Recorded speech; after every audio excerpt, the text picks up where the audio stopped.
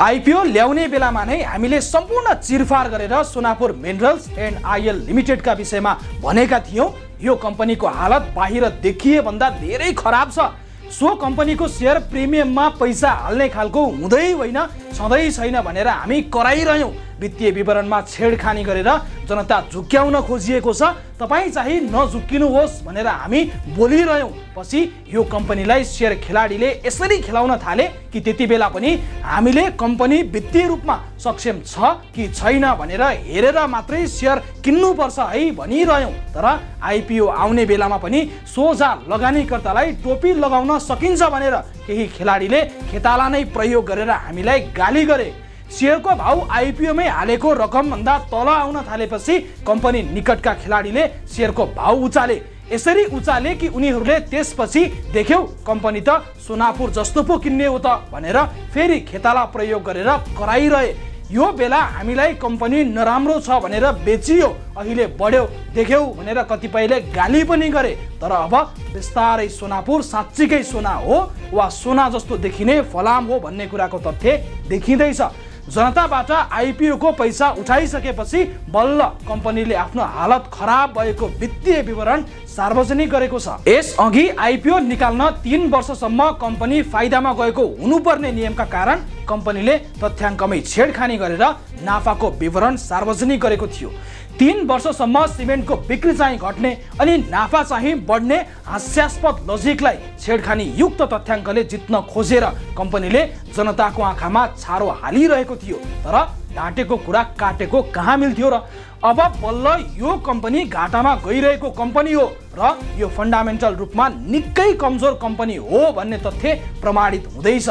नोक्सानीमै रहेको अवस्थामा प्रिमियममा आइपिओ जारी गर्न नपाइने व्यवस्थाका कारण कम्पनीले अघिल्ला विवरणलाई सन्तुलित देखाएर प्रिमियममा आइपिओ ल्याएको पुष्टि भएको छ। प्रिमियममा आइपिओ ल्याउनका लागि आर्थिक वर्ष दुई हजार उनासी असीमा दुई करोड बैसठी लाख रुपियाँ खुद नाफा देखाएको कम्पनीले सार्वजनिक गरेको वित्तीय विवरण अनुसार कम्पनी चौध करोड अठहत्तर लाख रुपियाँ नोक्सानीमा गएको छ।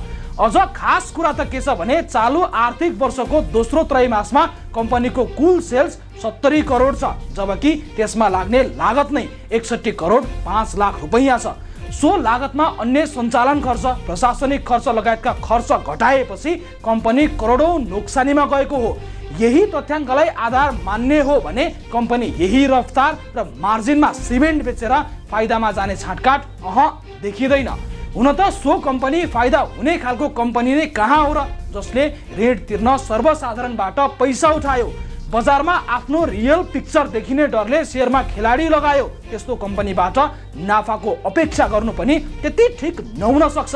भलै केही खेलाडीका लागि यो क्यापिटल गेन गर्ने कम्पनी भने पक्कै साबित भयो। कम्पनीको वित्तीय अवस्था यतिसम्म हरिबिजोग छ कि कम्पनीको प्रति सेयर आम्दानी नै चार रुपियाँ एकासी पैसा ऋणात्मक भएको छ। प्रति सेयर नेटवर्क एक सय चौरात्तर रुपियाँ अन्ठानब्बे पैसा रहेको यो कम्पनी फन्डामेन्टल रूपमा थप कमजोर हुने आकलन गरिएको छ।